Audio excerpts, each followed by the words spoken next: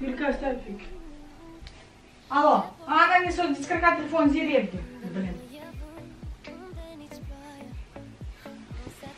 Mi s-a descărcat telefonul, zi repede, ce? Hei, salutări dragi prieteni și bine ați revenit la un nou vlog! Astăzi, după cum ați văzut din denumirea acestui video, o să vă arăt rutina mea de make-up, cum mă machiez eu uh, în zilele mai speciale, să zic așa, pentru că de obicei în fiecare zi nu mă machiez așa, câteodată nu mă machiez deloc în timpul zilei sau uh, pot să mă dau doar cu rimel, dar astăzi o să vă arăt make-up-ul meu în zilele mele speciale, când merg la o emisiune sau la concert sau chestii genul ăsta sau când fac TikTok-uri, am momente în care vreau să mă machiez. Așa că eu zic să începem, vă cu siguranță sunteți pregătiți pentru acest video, așa că să-i dăm drumul. Aceasta este trusa mea de make-up unde îmi port toate machiajele mele. Uh, port o grămadă la mine, nu știu pentru ce. De exemplu, am această paletă pe care, care este singura paletă pe care o am eu. O port la mine doar pentru acest highlighter, nu mai folosesc nimic din ea. Da, nu mai știu de ce port atâtea chestii la mine pe care nu le folosesc, dar fie. Ok, eu zic să începem. Pentru început o să iau un corector, pentru că înainte de toate eu mă dau cu corector, mai ales dacă sunt obosită, pentru că am momente uh, în care înainte de concert sau înainte de emisiune uh, mă culc foarte târziu, sau cel puțin când am concerte mă culc foarte târziu pentru că... Hai, găsește scuză. pentru că am repetiții. Așa că a doua zi este posibil să am cearcăne, uh, să am niște, așa, niște cercuri foarte horror pe sub ochi. Vai, acum tot le am, după cum vedeți, puțin le am. Așa că o să ne dăm pentru început cu un corector. Nu-l folosesc mereu pentru că nu-mi place să am ceva pe fața mea. Da, mă machez la ochi și la buze.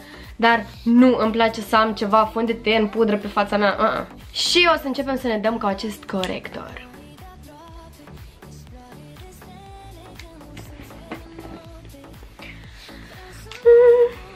Da, apropo, acum mă machez pentru că la fel am o emisiune.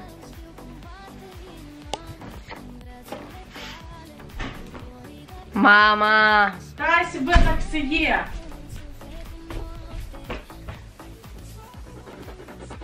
Tocmai ce am murdărit da. canapeaua Ia. de corector și se ia cu demachiant.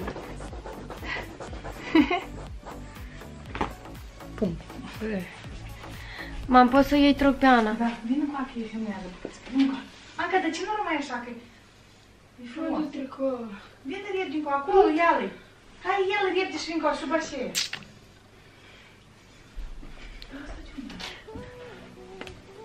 Așa, deci o să ne dăm cu corector. Să am nevoie de o oglindă. Nu cu așa mult.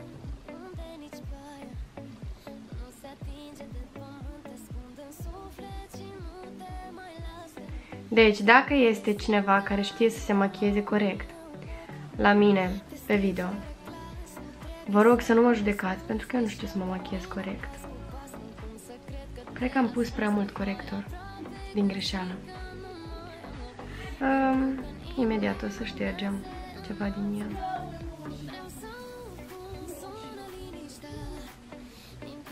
Cred că am pus prea mult. Contează! Da, am pus extrem de mult.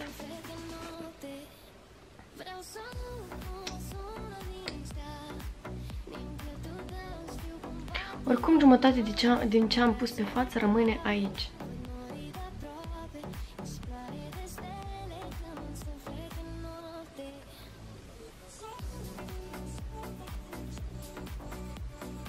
Am văzut că foarte mulți dintre voi sunteți curioși să vedeți cum mă machiez eu pentru concert, așa că de obicei înainte de concert nu am timp să filmez acest video, așa că îl filmez acum.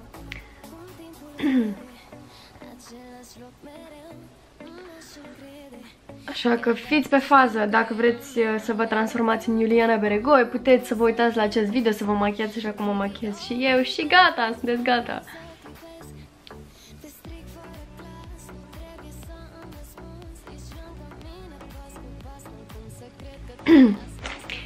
Așa arăt eu după ce m-am dat cu corector. Yay! Eu personal nu văd nicio schimbare, dar mă calmează faptul că știu că m-am dat. Da, știu că sunt ciudată, dar ăsta este adevărul. După ce m-am dat cu corector, haideți să vă arăt ce fac. Am un gel pentru sprâncene care mi îndreaptă sprâncenele, care mă ajută să le pieptăn doar, deci vedeți că este transparent, nu are nicio culoare este transparent. Mă ajută doar să le fixez dacă am chef, dar de fapt, haideți să vă zic adevărul. Mi-am luat acest gel de sprâncene nu ca să îndrept sprâncenile sau ca să mi le pieptăn, că nu fac asta practic niciodată, dar pentru că am o chestie ciudată aici, care părul ăsta care trebuie să stea în partea asta, mereu zboară în partea cealaltă, așa că mi-am luat acest gel de sprâncene ca să-l pieptăn, să stea în partea asta și să nu mai mer să nu mai zboare în partea dreaptă, pentru că el trebuie să stea în partea stângă. Și dacă tot am deschis acest gel de sprâncene pentru a treia oară în viață, o să ne dăm cu acest gel de sprâncene, dar după cum vedeți nu se schimbă nimic. Eu nu văd nicio schimbare. Um, da, ne-am dat cu gel de sprâncene. Da, ce că ne-am dat. Și acum o să trecem la partea mea preferată, adică la ochi și gata, pentru că în afară de ochi nu mai fac nimic. Așa, o să mă dau, de fapt întotdeauna mă dau cu un creion uh, cafeniu. Un creion maro, pentru că nu îmi place să mă dau cu creionul negru, de obicei încerc să mă dau cu un creion maro. Da, o să ne facem cozi foarte mici. O să ne dăm puțin cu creion ca ochiul nostru să aibă așa un contur puțin ca să conturăm puțin ochiul. Da, înainte eram dependentă de creion, așa că v-aș zice să nu folosiți creionul pentru că deveniți dependente de creion. Eu personal acum am învățat să nu mă mai dau întotdeauna cu creion. Am zile în care nu mă dau cu creion, mă dau doar cu rimel sau nu mă machiez deloc. Dar recunosc că înainte eram dependentă de creion. Și eu zic să începem. Haideți să vedeți cum îmi fac eu conturul la ochi. O să râdeți puțin pentru că... Da.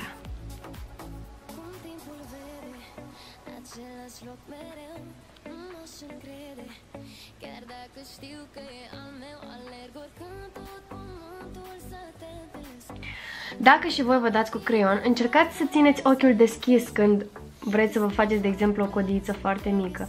Pentru că dacă îl țineți închis, este foarte posibil să iasă coada așa, dar nu să iasă dreaptă, la asta mă refer. Mie nu-mi place să-mi fac cozile lungi.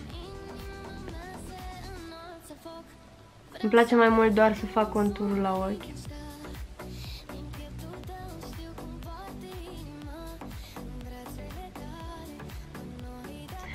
Și pentru că folosesc un creion care nu, nu are vârful ăla așa mișto cu care pot să termin frumos conturul, o să șterg acest vârf frumos și o să-l fac ascuțit cu ajutorul degetului meu. Da, știu că nu este corect cum fac sau ce fac, dar asta fac eu, sunt sinceră cu voi, așa că...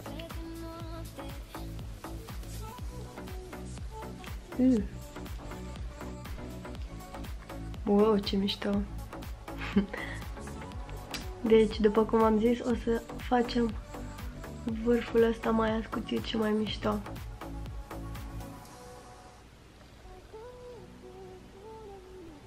De ce iese soarele fix când filmez? Gata, nu mai vine soarele fix în mine. Așa.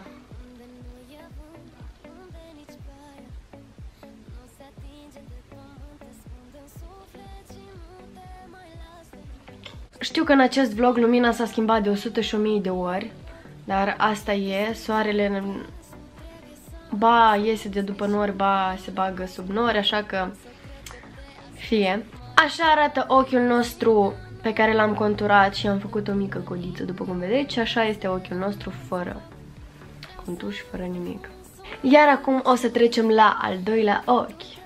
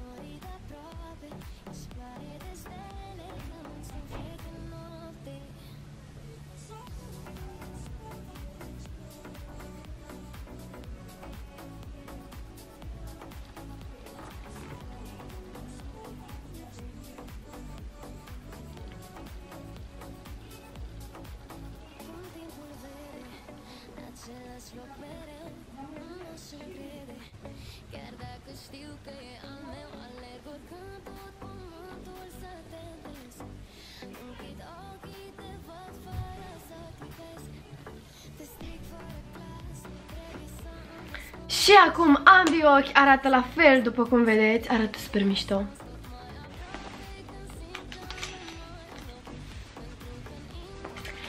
Și acum va trebui să ne dăm cu rimel. Întotdeauna înainte să mă dau cu rimel fac așa. Nu știu de ce, așa m-a învățat mama. După care îl deschid. Fac așa. Și gata, putem să ne dăm cu rimel.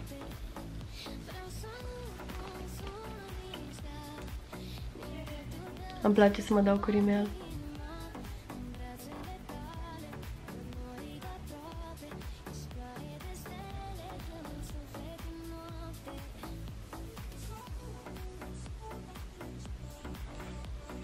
Și cam așa arată după ce ne-am dat noi cu rimel. De obicei, obișnuiesc să mă dau... Ups, m-am dat cu puțin creion sub ochi. Uh, obișnuiesc să mă dau cu rimel și pe genele de jos. Și întotdeauna după ce mă dau cu rimel, am impresia că ochiul meu arată ca un păianjen cu multe picioare, ia uitați.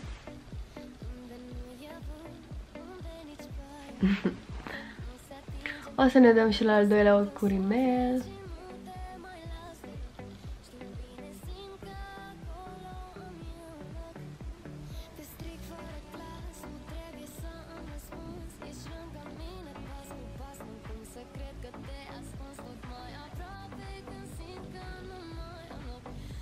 muscă.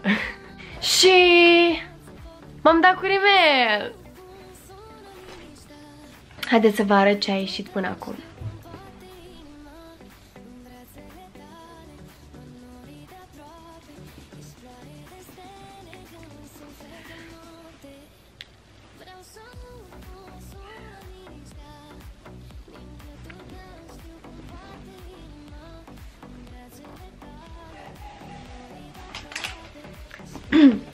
Și partea mea preferată, am ajuns la partea mea preferată pentru că o să mă dau cu highlighter. De fapt, asta nu este un highlighter, este doar un sclipici pentru ochi. Și de obicei mă dau cu acest highlighter sau sclipici sau puteți să-i spuneți cum vreți voi. Mă dau aici. Mm, oh, da.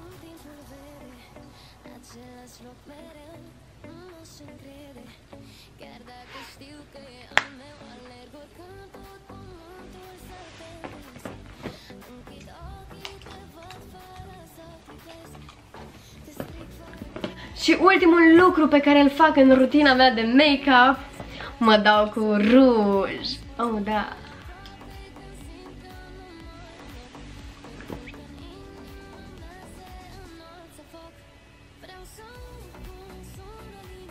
Este un ruj transparent care doar dă un pic de luci buzelor.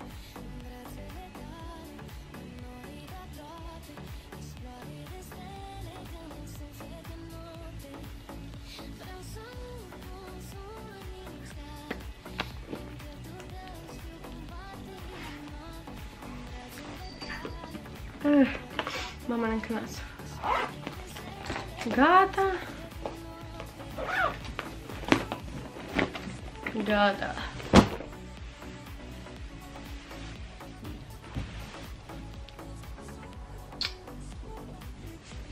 Și cam așa arăt eu după ce am terminat să mă machiez.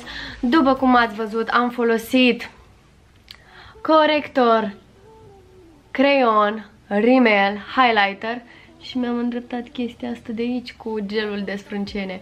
A, da, și un pic de sclipici pe buze. Oh, de ce mă văd grasul?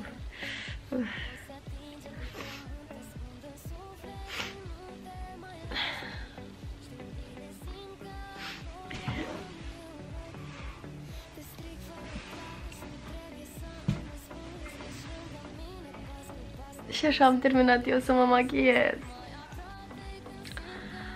Um... Și da, prieteni, cam asta a fost rutina mea de make-up. Dacă vreți și voi să vă transformați în Iuliana Beregoi sau dacă cumva vreți să învățați să vă machiați ca mine, cum mă machiez eu la emisiuni sau la concerte, puteți să vă luați după acest video. Îmi place foarte mult să fiu naturală și cred că asta este cel mai important. Și, sincer să fiu, ador zilele în care mă trezesc odihnită, frumoasă, fără cearcăne și nu trebuie să mă dau cu nimic pe față. O, da, ador acele zile. Eu vă pup pe toți, prieteni, să aveți grijă de voi, sunteți cei mai tari, vă mulțumesc că sunteți alături de mine, sper că v-a plăcut acest video.